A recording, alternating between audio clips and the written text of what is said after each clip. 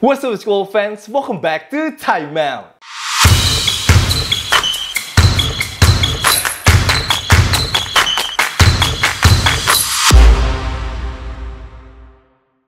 Yo, what up Time Out gang? And it is not looking good for the Dallas Mavericks right now.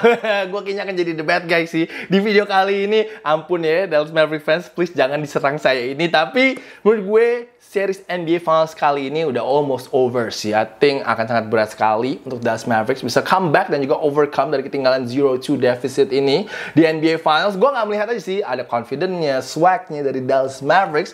Dan di video kali ini gue akan kasih tahu kalian kenapa alasannya gue mengeluarkan statement ini dan kenapa menurut gue akan sangat berat untuk Dallas bisa comeback dan menjadi juara NBA tahun ini. Dan sejarah pun mendukung Boston Celtics banget guys karena selama mereka ada di finals Boston itu 8-0 rekornya saat sudah unggul 2-0 untuk series NBA Finals. Dan, of course, makin berat lagi karena where is Kyrie, bro? I haven't seen Kyrie in the NBA Finals. Oh my God, somebody please find Kyrie, bro. He's a missing person right now. Tapi beda banget sama Boston Celtics ya. Boston Celtics itu banyak banget pemain yang bisa step up. Kemarin gilirannya Joe Holiday yang mencetak 26 poin and man he was just killing Dallas Mavericks in the paint area dan itu kenapa uh, Celtics sekarang unggul 2-0 di NBA Finals. Selain fans Dallas yang sedang diuji emosinya sama Kyrie Irving, fans Lakers juga lagi diuji nih emosinya selama seminggu ini.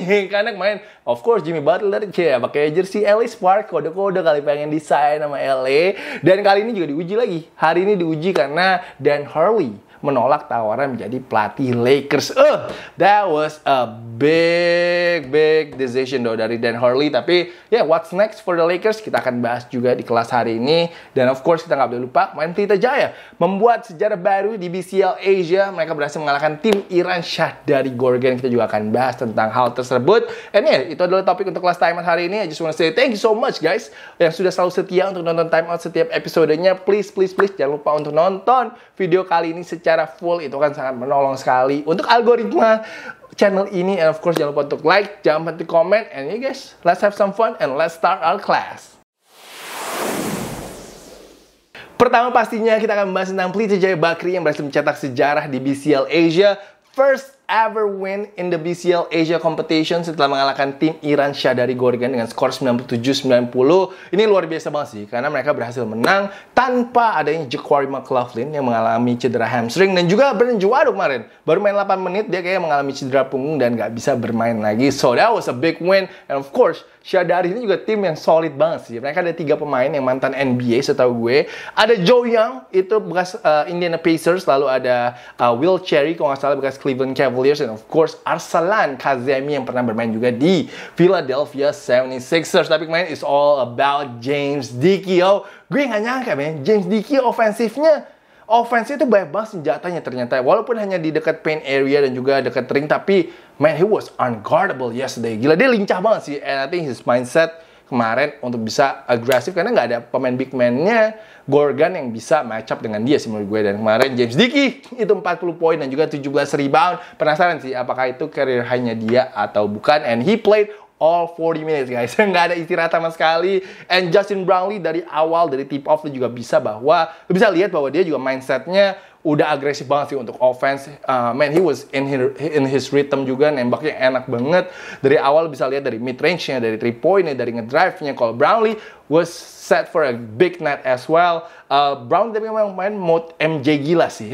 MJ Gilas di mana JB selesai dengan 32 poin dan juga 12 rebound. Brownlee hanya di satu setengah menit aja. Jadi big shout out though untuk dua pemain asingnya PJ yang benar-benar kemarin itu step up in the absence of Jacquari McLaughlin. Uh, kita tapi juga harus kasih kredit ke beberapa pemain lokalnya uh, Pelita Jaya. Defensively, Vincent dan juga Reza did a good job main ini um, menjaga pemain-pemain Iran yang lebih besar.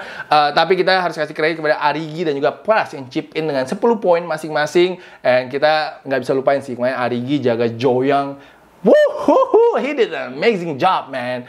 Uh, Joe Young tuh cepet banget, man. You know lah, pemain NBA klasik ya apa, tapi main bisa diredam sama Arigi. Uh, walaupun Joe Young 21 poin, tapi dia nembaknya itu 8 dari 22. And what an experience though. What an experience for Arigi. Dia pasti juga belajar banyak kemarin ini. And of course, Arigi juga step up dengan satu 3 point menurut gue yang cukup uh, penting di kuarter keempat sih kemarin ini sih. Kalau di passing sama James Dickey deh. So, yeah, what a game for Arigi dan juga Pras. Pras juga main berani juga ngedrive ngedrive amongst the trees. Uh, dia juga ada satu floater from the baseline that was really cool juga. So, great window. And malam yang bersejarah untuk basket Indonesia. Of course, kita nggak boleh lupa juga dengan perannya Coach Ahang, Johannes Winar, yang menurut gue memberikan game plan yang luar biasa dan juga time outnya sih. Time outnya luar biasa.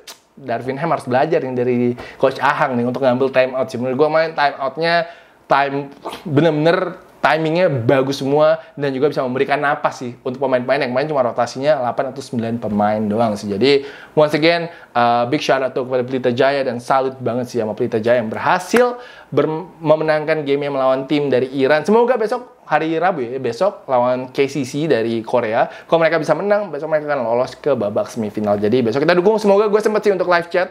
Uh, ya kalau gue bisa live chat, gue akan kabarin kalian semua. Dan sebelum kita masuk membahas NBA, kelas timeout hari ini kembali sponsori oleh Baller Bro. Ini adalah bola basket favorit gue sekarang ini yaitu bola basket MZ7 dari Baller Bro. Kalian dan teman-teman kalian yang suka basket wajib punya bola ini guys karena bisa dipakai indoor, bisa dipakai outdoor. Lalu satu hal yang gue paling suka dari bola ini adalah grip dan juga feel sintetisnya yang membuat gue nyaman banget saat lagi dribble dan juga lagi shooting. Dan ini bolanya harganya sangat terjangkau guys. 299.000 kalian setelah nonton video timeout ini bisa langsung gas gas, check out di marketplace-nya Baller Bro. So once again, I just want to say thank you so much kepada Baller Bro yang sudah mengsponsori untuk kelas timeout hari ini. Kalau gitu guys, kita lanjut langsung untuk bahas NBA. Lakers fans, mohon bersabar ya. Akhirnya Dan Hurley hari ini memutuskan untuk menolak offer 70 juta US dollar untuk 6 tahun dari Los Angeles Lakers. That was a big decision dong. Gila, kalau dia ambil itu akan menjadi salah satu pelatih termahal sih di NBA tahun ini. Dia katanya lebih memilih untuk nyoba tripit bersama University of Connecticut. I think that's not a bad decision dong. Karena mungkin dia pengen hidup tenang di Yukon dan juga nggak mau jadi apa ya nggak mau mendapatkan tekanan dari publik LA dan juga nantinya bisa jadi kambing hitam. Kalian tahu lah pressure-nya kalau masuk ke Lakers lo harus menang, lo harus deliver a championship, and of course lo harus ngelatih LeBron James juga. Itu a lot of pressure guys. Tapi um, sayang sih menurut gue Lakers nggak bisa land coach Dan Hurley. I think ini adalah pilihan terbaik. I think pilihan terbaik saat ini yang ada di luar sana untuk Lakers uh, dengan segala pengalamannya bisa membawa UConn back to back championship. Dan juga lo kalau nonton di podcastnya JJ Redick orang ini detail banget guys. Detail banget dan juga bisa create a winning culture. Jadi sangat disayangkan sih dia batal ke Lakers. So nah gue nggak tahu. Pilihan terbaiknya Lakers siapa? Gue nggak tahu sih. But most likely it's gonna be JJ Redick right I think JJ sekarang udah tinggal nunggu aja sih HP-nya ditelepon sama Lakers. Siapa lagi sekarang udah pertengahan Juni. Udah pertengahan Juni Lakers masih belum ada pelatih guys. What's going on? What is going on? So kita tunggu lah nanti bagaimana perkembangannya untuk pelatih barunya Lakers. Siapa tahu ada gosip baru nanti gue akan kabarin kalian semua di time. Ah tapi yang bombastis adalah Darvin Ham kembali ke Milwaukee Bucks guys. And it will form a great duo guys. Name a better duo than Doc Rivers and Darvin Ham on the sideline guys. Oh my god, ini duo yang hobi ngechoke sih. Hobi ngechoke big lead biasanya sih ini duo tapi um, Darvin Ham akan kembali ke Milwaukee Bucks uh, untuk menjadi top assistant dari Doc Rivers. I think it's a good hire though. I think Darvin Ham itu lebih cocok menjadi assistant coach daripada head coach. Kayaknya dia kemarin itu belum siap sih untuk jadi head coachnya Los Angeles Lakers. Jadi um, I think this is a good hire apalagi juga dia punya relationship juga dengan Giannis Antetokounmpo, Chris Middleton dan juga beberapa pemain Milwaukee Bucks lainnya. I think ini akan menolong sih untuk ke depannya tapi ya tetap aja sih I don't think Milwaukee gonna be a championship contender sih next season. For me sih, more for me sih kayak nggak bakal. Uh, tapi gue gak pernah kebayang sih Doc Rivers and Darvin Ham on the same sideline. That is crazy guys. That is crazy. Semoga fansnya Bucks baik-baik aja ya sekarang ini ya.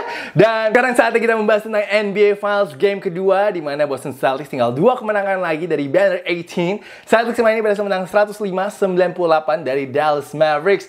Ini merupakan kemenangan ke-9 yang mereka secara beruntun di babak playoff dan mereka unggul 2-0 sekarang ini di NBA Finals. Dan streaknya Kyrie pun lanjut jadi 0-12 saat melawan mantan timnya Boston Celtics, the curse is still there, guys. Two bad games from Kyrie. I don't know where Kyrie is. He's still not showing up to the NBA Finals. Uh, dia mungkin bikin banyak kecewa, bikin banyak fansnya Dallas Mavericks kecewa sih dalam dua performance-nya ini. Dia main di game kedua 16 poin, 7 dari 18 nembaknya dan belum mencetak 3 poin sama sekali selama NBA Finals ini. Gila ya itu benar bukan karakteristik kayak Kyrie banget sih menurut gue. Dan Kyrie pun juga belum bisa have a big second half ya. Kita tahu di seri-seri sebelumnya dia biasanya suka meledak tuh di babak kedua tiba-tiba jadi jago banget. Nah selama dua game ini Celtics berhasil meredam Kyrie selama babak kedua. Kemarin pun dia hanya dua dari 8 untuk nembaknya di second half. Tapi itu kita harus kasih banyak kredit kepada Jalen Brown lalu kepada Derrick White yang melakukan an amazing job defending si Kyrie Irving ini sih. Um, tapi Kyrie menurut gue sejujurnya he's still getting a couple good looks. He just cannot knock it down. He just cannot knock it down. Dia lagi nembaknya malah lagi bau aja. He's in a slump I think menurut gue. Tapi like I said in the last video kalau Dallas pengen punya kesempatan untuk menang Kyrie harus at least 25 sampai 30 poin sih untuk Dallas Mavericks. Kasihan Luka guys, Luka kerja sendirian kemarin ini. Um, yeah main luka lu bisa lihat lah udah satu badan diperban uh, satu badan cedera masih bisa triple double main 32 poin 11 rebound 11 assist. Udah gitu di troll sama anak kecil lagi. Aduh abis dia selfie dibilang still Celtics in four. Gue kalau jadi luka gue suruh delete tuh foto eh delete delete delete. Lu delete deh udah ngetrol ngetrol mendingan cepetan delete tuh foto deh. Tapi um, Iya kemarin ini kita bisa lihat lah di kuarter keempat Celtics ya lebih instinct defensively. Lu bisa lihat juga ada ya gue nggak tahu lu mau argue itu foul atau enggak dari Jalen Brown tapi still an amazing job an amazing block dari Derek White dan juga Jalen Brown on PJ Washington. Yeah that was like the game winning block I guess kemarin itu at the end. Um, gue jujur like I said nggak melihat uh, Mavericks bisa comeback di series ini. Walaupun memang kita tahu Kyrie udah pernah di posisi ini sebelumnya bersama Cleveland Cavaliers tahun 2016 uh, tahun 2000 2021 juga kita tahu Milwaukee Bucks sempat comeback juga dari ketinggalan 2-0 terlebih dahulu. Ini kenapa gue bilang akan berat untuk Dallas comeback di series ini. Karena kemarin menurut gue Celtics itu play like shit. They play really bad yesterday. Uh, Celtics itu kemarin miss 29 three point shot. Mereka di out rebound 4-3, 4-1 sama Dallas Mavericks. Dan juga Jason Tatum itu nembaknya 6 dari 22 guys. Tapi Celtics masih menang. Jadi gue nggak tahu Celtics harus main sejelek apa untuk Mavericks at least bisa dapat satu game. Jadi basically they play a really bad game yesterday and they still won. So itu kenapa menurut gue akan susah untuk Dallas bisa comeback di series ini karena gue nggak melihat Boston Celtics akan miss another game with 29 three point miss sih. Gue nggak melihat itu sama sekali tapi um, gue cuma bisa bilang I think Dallas gonna get one. I think Dallas gonna get one win di Dallas nanti ini. I don't know game 3 or game 4. Tapi I think they're gonna get one and the Celtics team sekarang ini menurut gue kalau lihat dari semua pemain ya dari starting lineup ya dari cadangannya itu semua on a mission. And they are just about getting the job done. Itu yang gue lihat dari mindsetnya para pemain Celtics. Gue bisa lihat main juga a big three point shot from Peyton Pritchard di end of the third quarter. Itu juga dapat pujian dari Joe Mazzulla di mana dia bank shot untuk beat the buzzer. That was a huge play. Itu juga kind of momentum swing juga sih main untuk si Boston Celtics sih. So we cannot forget about that shot from Peyton Pritchard menurut gue. Um, Pak sebelum game 2 Jason Kidd mencoba untuk main games kan. Main games bilang kayak oh yeah Jalen Brown the best player on the court. Lalu Drew bilang yeah yeah Jalen is the best player on the court. Kayaknya tuh si Jason Tatum pengen bikin kayak Jason apa si Jason Kidd pengen bikin Jason Tatum mainnya maruk gitu. Itu adalah harapannya. Tapi ya Jason Tatum kemarin sih emang trip apa time-nya lumayan lah 22 tapi tetap dia bisa involve teman-teman ya terutama Drew Holiday Gila si Drew sih mungkin juga sengaja tuh bilang, oh iya uh, Jalen Brown yang paling jago biar mungkin Drew dikosongin juga. Karena berkali-kali lo bisa lihat Drew itu in the paint area kosong guys. Kosong selain memang timingnya dia pinter banget ngelihat defensive scheme Dallas, lalu juga dia ngelihat saat temennya di double team, dia tahu kapan harus ngedrive atau kapan harus dia ngecut.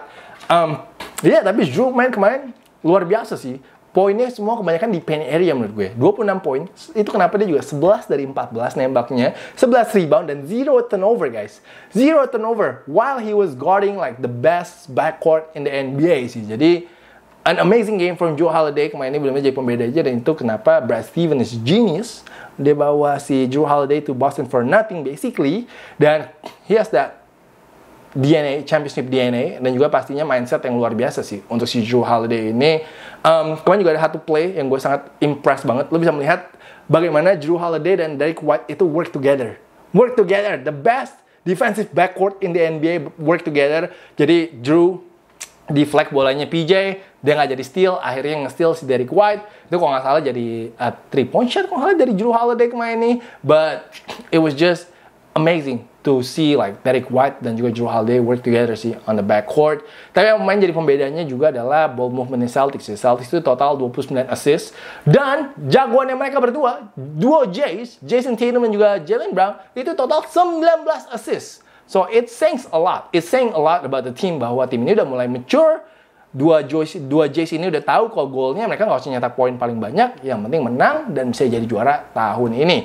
Uh, Jason Tatum nembaknya 6 dari 22. Uh, but he was making a lot of good plays, a lot of great decision, just same like uh, Jalen Brown yang hanya 21 poin aja kemarin. Tapi fun fact-nya, fun fact-nya untuk Jason Tatum adalah kalau dia shoot below 40%, itu Celtics 6-0 di playoff. Kayak playoff kali ini kayaknya 6-0 sih. So that's an amazing stat sih.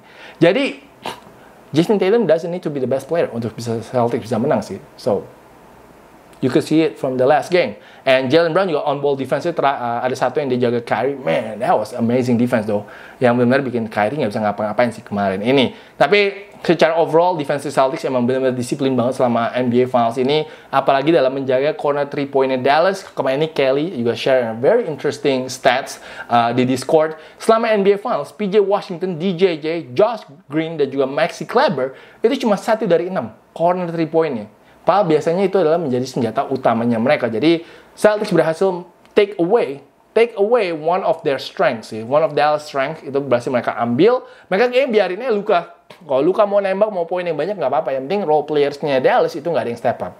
Artinya itu adalah salah satu kunci ataupun juga salah satu uh, game plan dari si Joe Mazzulla sih. Um, so far di NBA Finals, Luka udah 8 3 point, sedangkan teman-teman ini cuma 5 guys. This is amazing yo ini lo bisa lihat bahwa defensive Celtics itu elite banget sih. Karena lo tau lah, ada PJ, ada DJJ, ada Tim Hardaway, ada Josh Green, ada Kyrie, itu semua bisa 3 point. Tapi so far in two games, itu cuma 5 men, total men. So, amazing game, amazing game plan menurut gue dan juga defense dari uh, Boston. Boston dua kali berarti menahan Dallas di bawah 100 point men. So, ya yeah, sekarang ini menurut gue itulah pembedanya dan itu kenapa menurut gue akan susah untuk Dallas bisa comeback di series ini. Uh, Luka main take the blame. Um, of course dia miss 4 free throw. Main tuh free throw-nya si Dallas cuma 67% itu juga jadi salah satu kendala. Uh, main Luka itu 8 turnovers. Tapi menurut gue sih Luka sih nggak salah-salah banget sih. Teman-teman sih yang harus step up sih. I think they need PJ Washington to have a decent game di JJ. I think dua itu sih. Dan mungkin satu-satu dari bench kayak dari Lively juga harus double digit. So, kita lihat nanti di game ketiga apakah pemain role playersnya Dallas akhirnya bisa step up di game ketiga itu akan jadi kunci sih. Akan jadi kunci tapi semoga juga anak kecil itu jangan jadi jangan jadi jinx sih. Yang jadi jinx gue apa anak kecil nih kira-kira nih? Untuk Boston nih karena Boston juga apa anak kecil itu udah bilang 4-0 4-0 aja.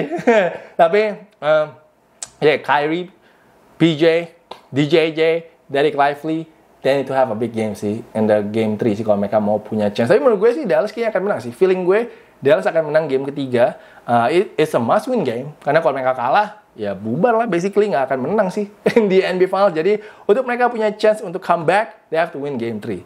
So yeah, that's mereka gue rasa dari awal akan coba gas sih uh, untuk bisa come out with a ton of energy and get the crowd involved early sih. Jadi feeling gue juga PJ Washington akan 20 poin dan Kyrie akhirnya akan 30 poin sih. So that's my prediction for game 3. Dallas gonna win. And nanti yang menang game 4 baru Boston Celtics. That's my prediction. Let me know in the prediction. Uh, di bawah gue udah mau telat untuk ngejar kereta cepat gue. Jadi ini editannya akan dikit guys. Karena gue harus ke Bandung habis ini untuk ngeliput For The Lab with Brandon Francis. Uh, gue harus sempet-sempetin karena gue pulang jam 12 malam udah gak sempet bikin time out. So hopefully you guys enjoy the time out today. Really appreciate everybody for joining me today. Jangan lupa untuk like, jangan lupa untuk comment. And I will see you guys again very soon. Peace out everybody.